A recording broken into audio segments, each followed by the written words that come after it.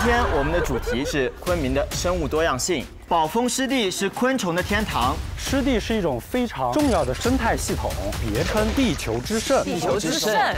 昆明是中国鲜花市场的心脏。我们平均每天的一个交易量大概在五百万只到六百万只左右。那有话说，全国鲜花看云南，云南鲜花看斗南。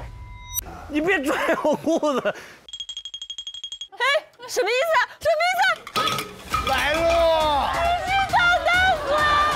好快，有快啊！呀呀！哇！张家元，有个，有个！不行，不行，不行！我们保护大自然，大自然就会保护。